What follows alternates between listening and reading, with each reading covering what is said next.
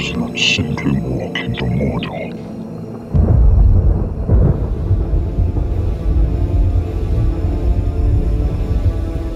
Welcome back, everyone, to Mordor, the land of shadow. You sort of have to say that with evil hands. Uh, I want to welcome you guys back. Uh, today we are premiering our very first Shadowcast, uh, which is where we discuss all things evil in Tolkien's Middle Earth. Um, in today's video, uh, we're going to shine a light on the monster in the cave, seen in the trail in the teaser trailer uh, for Amazon's The Lord of the Rings: The Power of the Rings. Um, but before we dive deep into the second age of Middle Earth, uh, I did want to uh, cover uh, two items that I feel like I just want to, I need to say it and get it out of the way. Um, and then we can move on to uh, this unknown monster in Middle Earth.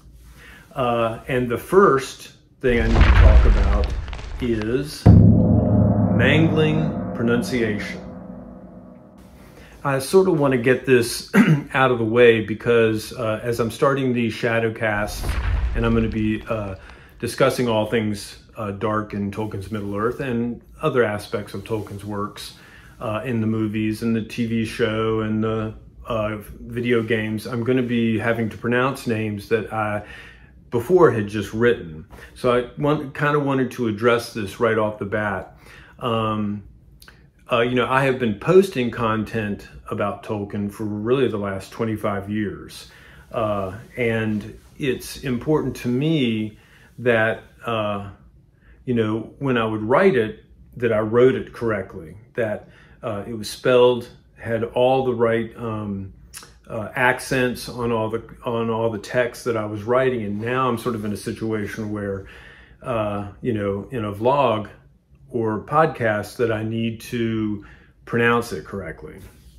Now, uh, to take you back a little bit, I first read The Lord of the Rings in 1969, 1969 or 70, over the course of that year. And, you know, so for the first 30 years of having read The Lord of the Rings and The Hobbit and uh, thinking about and discussing Middle Earth, I had no really no phonetic, uh, correct phonetic sounds to go by in terms of how to pronounce uh, the names and places in Middle Earth. Um, it really wasn't until you know the advent of the internet, um, but and really the uh, films by Peter Jackson in 1999, which was really 30 years after I read the books, that uh, the sound and the names of things became much more clear. For instance, uh, I know a lot of people used to call Sauron Sauron. Uh, the Tower of Cirith Ungol was called Cirith Ungol because it had a C. And, it, you know, at the time I didn't realize that, you know, that C is really a K sound. Uh, even Tolkien's name can be a bit tricky. Uh, for years, I, I said Tolkien because that's how it was, that's how I heard it from everyone who talked about it, who uh, spoke about Tolkien. They all said Tolkien. However, Tolkien himself wanted it to be Tolkien. That was the correct pronunciation of his name. So there's a good possibility that I'm going to go back and forth on that because I sometimes will go back to uh, how I said it in the past, and I try to be cognizant of that in these uh, new shadowcasts. Uh, but bear with me um, because, um, you know, I know from Tolkien's point of view that uh, language uh, and phonetics was everything to him. In fact, language was the source of all the histories and eventually the stories uh, of Middle Earth that uh, Tolkien developed in uh, The Lord of the Rings and The Hobbit. So um, there's uh, 101 examples uh, just like that, um, that, you know, uh, you know, when I'm doing this podcast is sure to kind of come out and be a part of uh, the mispronunciation uh, that, that, that, I'm going to do here. So just please, uh, I just wanted to kind of throw that out there and uh, and for you to please bear with me. Correct me if it's really if I'm really mangling it badly. Uh, it's not that I don't know Tolkien. It's that or Middle Earth or have had experience with it. It's that I just haven't had to pronounce it uh, live or in uh, in a video format or a vlog format before. So uh, please just bear with me and uh, let's go ahead and move on to the second important topic that I wanted to discuss today. I want to offer up an update on thelandofshadow.com, the website. Uh, for years, I ran the main site and filled it with all things dark and Middle Earth. Uh, you know, we had the Dark Servants, the Dark Domains, which is the locations in Middle Earth, uh, the Brazen Beasts, the Black Speech, Dark Films, and many, many other things, uh, as well as, a daily, as daily blog posts. Um, as I had said in, a, in my previous video where I kind of made the announcement of the website, which you can take a peek at here, um, I closed the site down in 2018 and now am in the process of sort of rebuilding it. Um, you can get all the details on why that was, um, but there's a couple of things uh, I need to do before I can uh, start that rebuilding process. Um, the uh, I need to uh, contact my web host and work out a couple of things with them in terms of the domain, you know, where it's leading, uh, and the web and the content that was there previously, I want to make sure that that content is still there so I can access parts of it. Um, I also have a mirror copy on my own computer.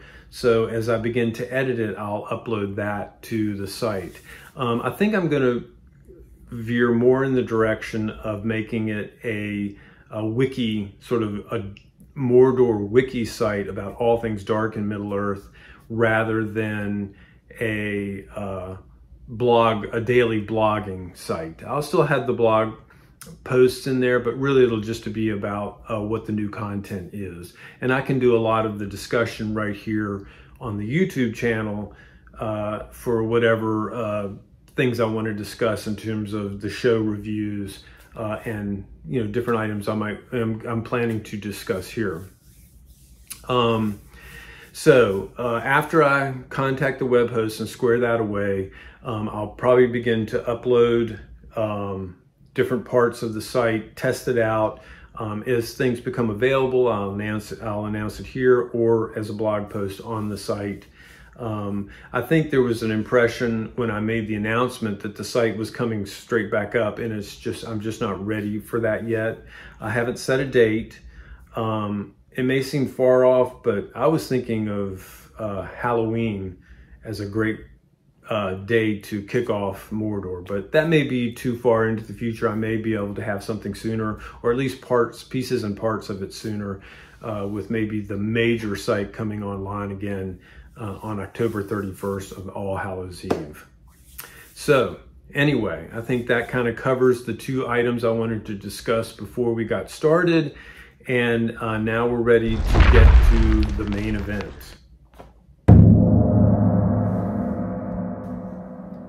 In today's Shadowcast, uh, I want to focus on the monster seen in the new teaser trailer uh, for the Rings of Power. I'm sure you've seen the trailer countless times already, um, and but in order to discuss this, the the appearance of this mo monster, I sort of want to set the stage. Uh, the first thing we see uh, related to this monster, I think, I'm not 100% sure, but the way I kind of interpret the trailer or the teaser is that uh, we see landscape of a, a mountainous landscape with a, a frozen waterfall. Then we switch over the next shot is a Galadriel climbing up a ice cliff, which I assume is the same location. Um, and then later on, we cut to another elf that I am not 100% sure is Galadriel. I don't, she looks a little different, uh, but she's holding a uh, torch and out of the shadows comes this creature. Now, it has been verified that Galadriel and the other elves traveling with her uh, were going through the icy mountains of the, the Forodwaith. Uh, this is a mountain range at the very uh, top of the map on middle of Middle Earth. Um, why they're traveling here is not certain.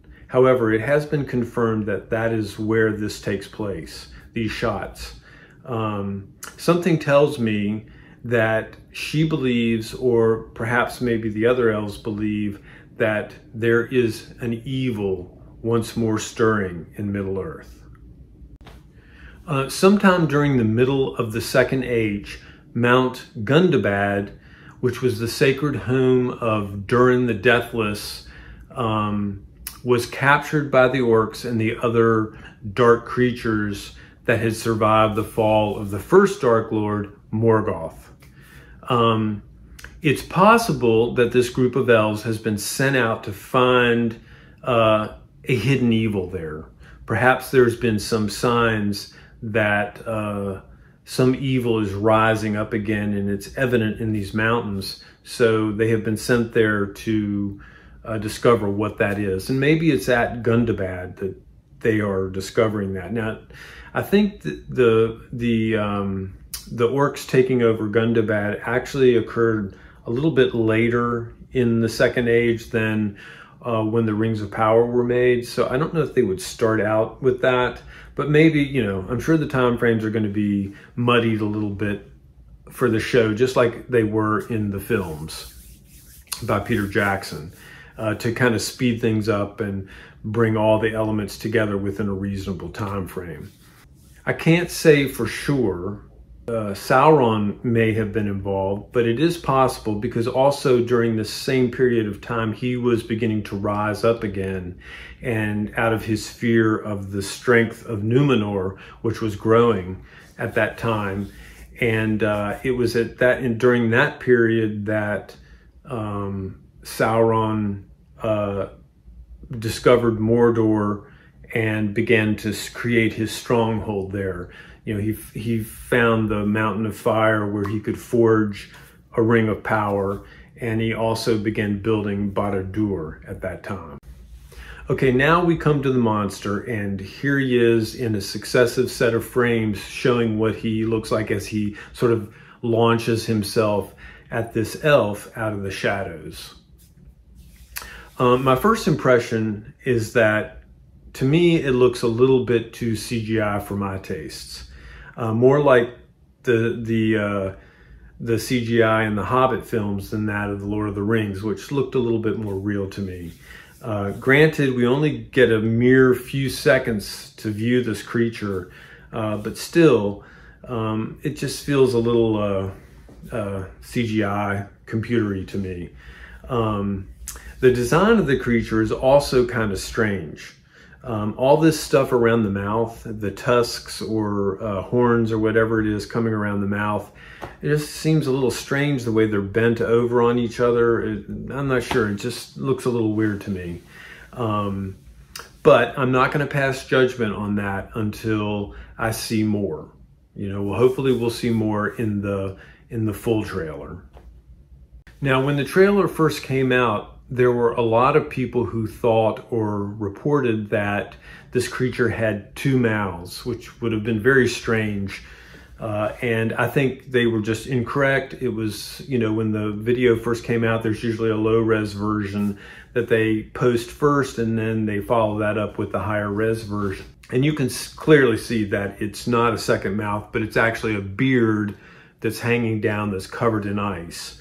Um, also, the uh, back of the creature, I don't know if it's its actual back or with hair or whether it's wearing some kind of fur or coat, uh, is also encrusted with ice, which sort of ties it, for me, ties it together with the images of, of Galadriel climbing up uh, the mountainside. And I, I assume that probably they come to some kind of cave uh, which looking at the cave, it looks like to me that it is a, a location that, you know, it's not like a natural cave. It looks to me like it was something carved out, like it might be the inside of a temple or uh, some kind of space Uh, maybe it's somehow related. You know, Carn Dûn, of course, has not been created yet. That will come later in the middle of the uh, Third Age.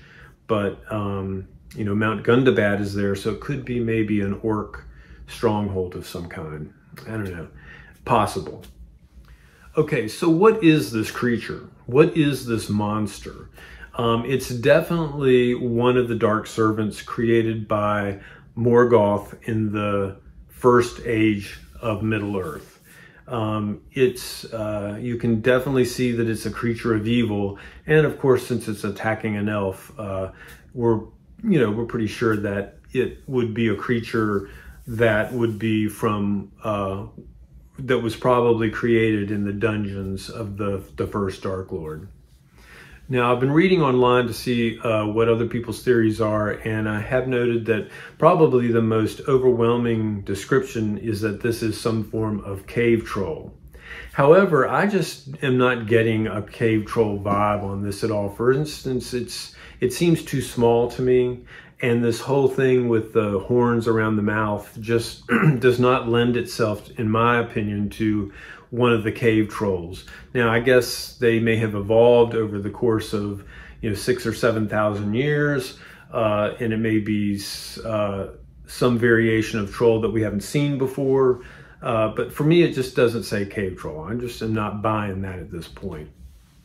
Others have theorized that it might be one of the ogres uh, now, this dark creature um, is mentioned by uh, Tolkien in uh, in other places, not necessarily the Lord of the Rings and the Hobbit. Um, and uh, Peter Jackson used these creatures, as you can see here, in his version of The Hobbit, um, The Battle of Five Armies. I think is the first time we actually see these uh, ogres that they his version of them look more human, uh, sort of troll-like, but some something between an orc and a and a troll. Um, but again, it has nothing around here, around the mouth, none of the hair, or the beard, or you know the tusks. So I just again don't think that ogre is the origin of this creature. I've even heard that uh, some people were thinking that it might be some variation uh, on the Balrog or one of the uh, Balrogs of, of Morgoth. Um, now, you know, th there's a kind of a funny element for well, right off the bat. We, don't see any fire. Uh, the horns look different. There are horns on the face, of course, but it looks very different. Uh, and the size, of course, would be an issue, which kind of brings me to a funny uh, idea here is that maybe this is a baby Balrog. Now, if Star Wars can have a baby Yoda, why can't Lord of the Rings have a baby Balrog? Um, you know, I, am just sort of kidding. You know, I don't want to start a whole uh, thing about that. You know, I'm just, it's sort of, that's sort of a joke, but it is kind of an interesting idea. Um, you know, you'd have to have some kind of fireproof gloves uh, to hold a baby Balrog because I'm, otherwise I'm sure you'd get burnt. Uh, but anyway, um, that's just more of a joke than any real supposition about what this uh, monster might be. Now, this is a very remote possibility, uh, but the one that I, it's one that I kind of like. Um, it um, might it not be a Barrow-wight? Um, we didn't get to see these creatures in the Lord of the Rings, so maybe this is our first look at one. Uh, possible, again, maybe. Uh, Probably not likely, but I kind of like the idea of, of uh, getting our first opportunity to see one of these creatures that didn't appear in The Lord of the Rings, uh, even though it was part of the story. However, when all said and done, I believe we are looking at something altogether new. All manner of monsters were created uh, in the dungeons of the first Dark Lord Morgoth. Uh, so it could be anything. It really could be any kind of creature at all, something totally new.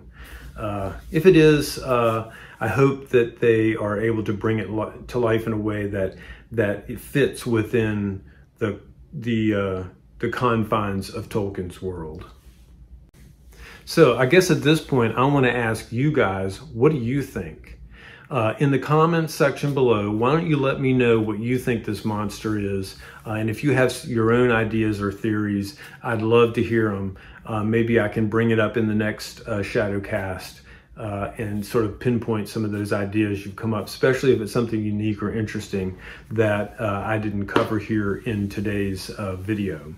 In the next Shadowcast, I'm going to be discussing the rise of Sauron in the Second Age, uh, when he takes on the guise of Annatar, Lord of Gifts, uh, in order to, to seduce the elves and create the, the rings of power.